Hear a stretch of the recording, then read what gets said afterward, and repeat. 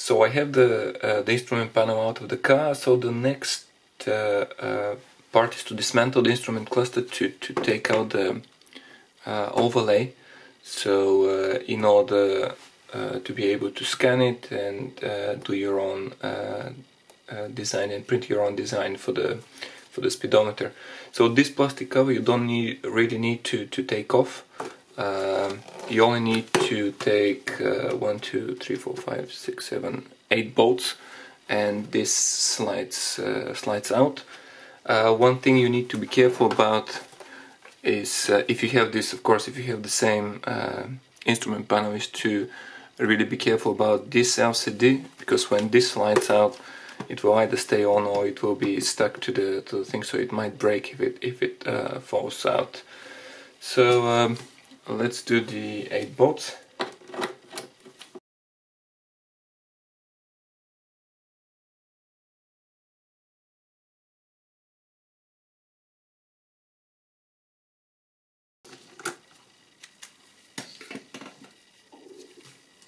So in order to take this plastic cover that's on top of the uh, speedometer and uh, the RPM motors, so you basically um, lift with, with, with a finger on, on this tab and this gets over so lift on that side. And basically this, this will slide over so you take one of the bolts. Put this aside. So then basically you, you pull for anything doesn't really matter. I like to pull it for the for the plug. And you have to be slightly careful about the uh, about the LCD display at the back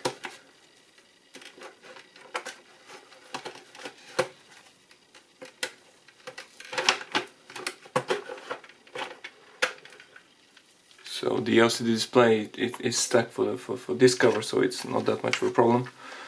And you have the overlay slightly closer to the overlay. Uh, so I'll take the LCD display and put it aside just not to break it. Right, so this cover you can, you can put aside uh, somewhere and I uh, would have this cover at the back for the motors just to have a support to the flatter surface. Right, so um,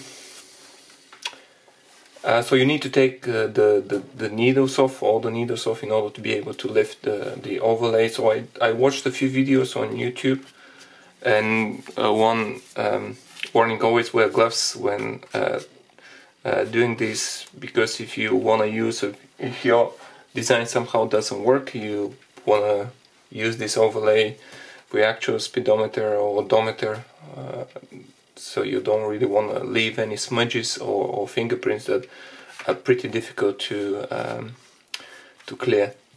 So uh, I watched a few videos on YouTube, so um, how to do those.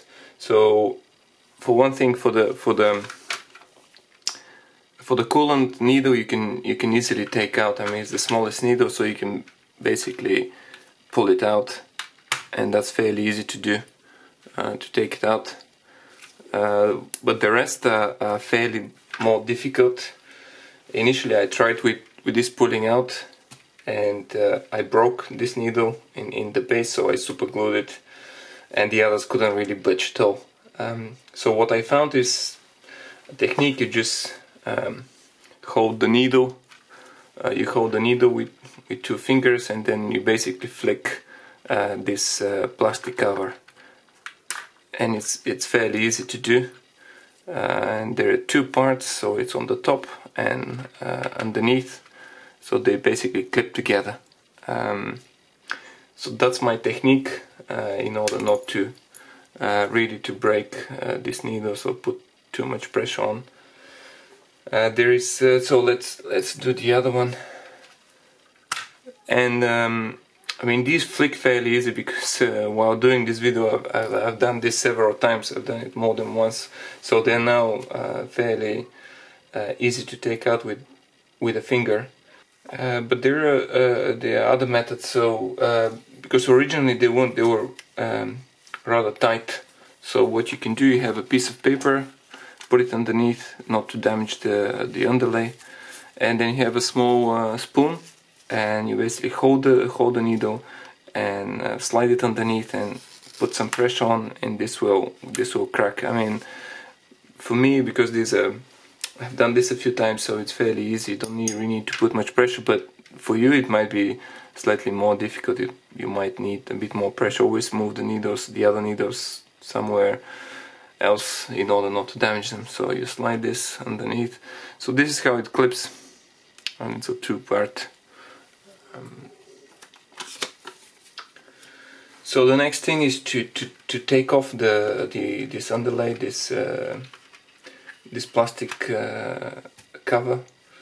Um, so it, it, it's a fairly tight fit so you might need to slightly relax it just a little bit. Um, and the other thing is uh, in order not to damage when you when basically you need to slide it underneath the the three needles. Uh, so I have a, um, a, transparency film or transparency paper that I can uh, put underneath the needles just uh, when they slide out. It doesn't really damage the underlay. And just basically cut it out. Uh, it's fairly easy. Just slide it in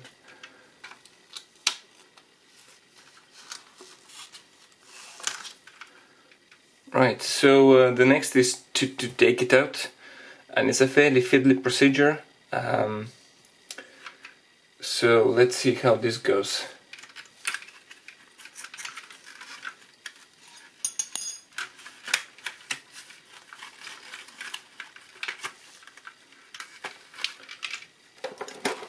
You might want to have a, a, small screwdriver that you can that you can put underneath and uh, help the process, but it's not entirely needed. So once it starts sliding out, it's it's it's fairly it's fairly easy to do.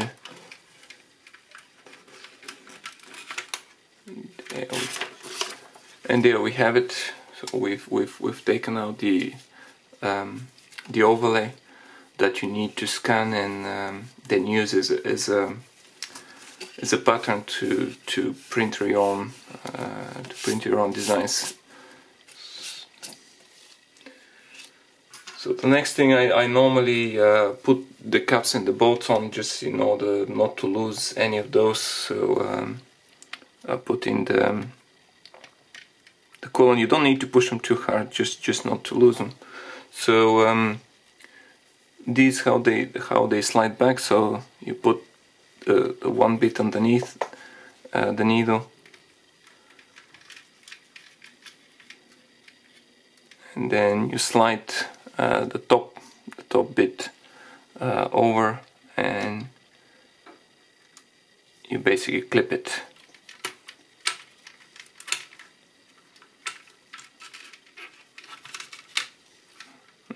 doesn't want to really go that easy sometimes you just need to they need to be centered. But you'll hear a clicking sound like that. So you put it underneath.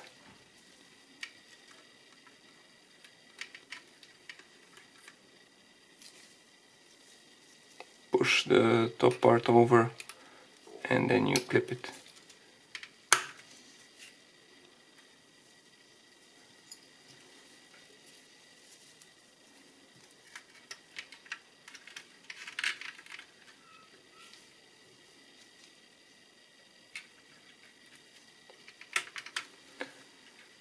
I mean, if you if you found a, a, a, better way to do that, so there is a there is a method once you have the underlay, uh, once you have these caps. Uh, let me show you. So apparently there is a method. So once you have the the, the black caps off and the underlays underneath, the method is you have you have um, cutter pliers that that you put like that. So you have something underneath so you have pliers and these cutter pliers so they can grip at the base of the needle. You basically use this as a support and you take them out. I mean, I didn't really want to do that. Uh, it's a bit of a drastic measure, so um, I didn't really want to damage them and, and then wonder what to do. So um, uh, put it back on.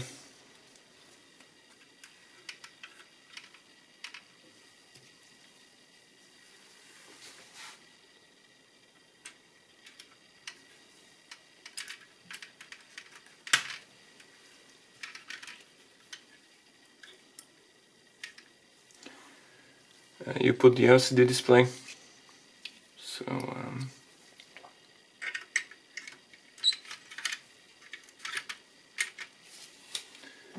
you have the the top cover. It just pushes over or slides in.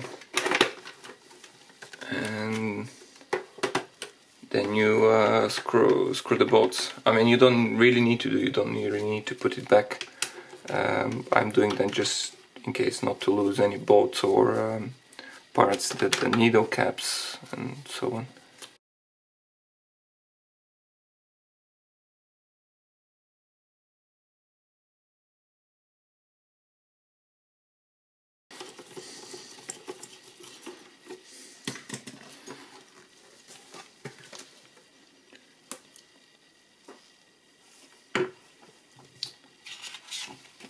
So in the end of this process you have the uh, underlay um, that, that you need to scan, uh, that you need to scan and um, use a template to produce your own uh, to produce your own designs.